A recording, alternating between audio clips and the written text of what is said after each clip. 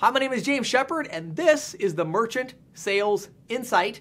Today we're talking about ATM machines and dual pricing and how dual pricing is impacting the ATM opportunity. The sponsor of this edition is Star Financial. You can head over to gowithstar.com. Gowithstar.com. They have a fantastic suite of reseller opportunities for ISOs and agents that want to offer ATM services to their merchants. If you go back five or 10 years before dual pricing and differential pricing was really popular in the US market, the opportunity to place an ATM machine was almost exclusively going to be at a, you know, in a mall, in a convenience store, in a theater, a casino, really high foot traffic areas like that were really the only ones where businesses showed an interest in having an ATM machine placed and it was the only place that made any financial sense to put an ATM machine so that you could actually get some transactions out of it, right?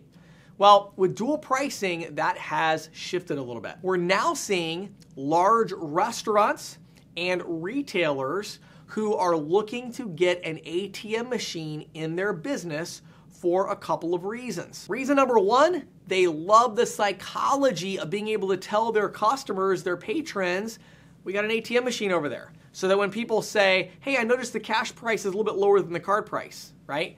They can say, well, yeah, and actually, if you'd like to get some cash, we have a cash machine right over there. And what does that do? Well, is that person then going to go spend $4 to get money out to pay for their meal? No. What they're going to do is they're going to realize, well, wait a second, actually, you know, the difference, the, the cash price and the card price, the card, card price being a little higher actually makes a lot of sense because it is expensive to get cash out, right? So the psychology of it is really good, but it also takes the heat off of them to say, look, we're giving you another option. So if you don't like this, here's another option. So it's more of a psychology. It's also a psychology for the business owner themselves because when you're selling it, you could say, well, if you're really that concerned about it, we'll put an ATM machine in, right? So we know that again, it's not like we need the ATM machine there. We know the customers are going to be fine either way, but having the psychology of it for the business owner and the customer is actually really nice. Number two, it turns out that the reports of the cashless society in most markets has not come to fruition. It hasn't really worked out that way. People still want cash in their wallet. And the funny thing is, there's actually less and less opportunities for people to get cash nowadays. So when they're leaving a restaurant, and there's a lot, you know, again, a de- not a tiny little restaurant, but a decent sized restaurant, when people are walking out of the restaurant and there's an ATM machine there, guess what they do a lot of times? They stop and they get a, some cash out because they want to have cash in their wallet, right? Uh, to be able to tip a driver or to be able to do whatever they want to do with their cash, you know, um, they want to be able to get cash. And so people are actually using it and now that business owner is actually making a little bit of money off the ATM machine because with ATM processing, unlike payment processing as a general rule, ATM processing allows both the um, processing company, in this case Star Financial, our sponsor, the agent or ISO, which would be you, and the business owner all split the fees that are collected from those transactions. And that leads us to the third reason that we're finding an increased interest in placing these ATM machines in restaurants and retail stores, these larger uh, you know places, and that is residual income for the ISO or the agent, right? Uh, you want to make some money off of this, and ATM is a great bundled service. Some of the really cool things, I actually just got done shooting a, training session, uh, training course rather for Star Financial, and uh, we had an ATM machine here, and so you definitely can check out that training course if you go to ccsalespro.com slash training.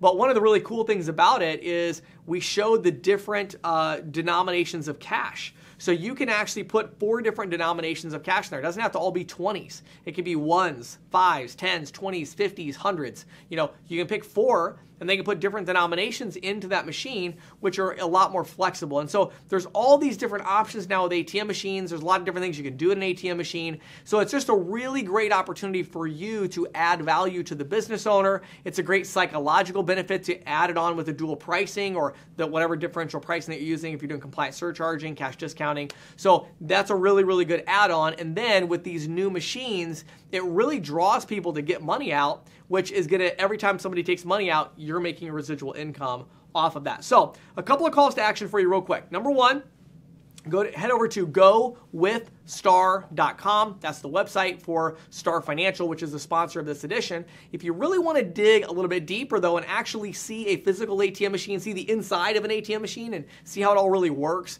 uh, how the financial side of it works, head over to ccsalespro.com slash training ccsalespro.com slash training. And if you go in there to the free, it's 100% free training, no cost whatsoever. It's not a free trial. It's just free if you're an individual. Um, that there are sponsors in there. Well, one of the sponsors is Star Financial. So we put their new course in there on how to, how to build an ATM portfolio.